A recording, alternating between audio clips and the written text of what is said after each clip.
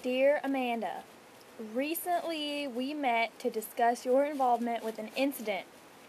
As a result of the information I collected, you were found in violation of the alcohol policy. Due to your amount of responsibility in this situation, you have been sanctioned the following.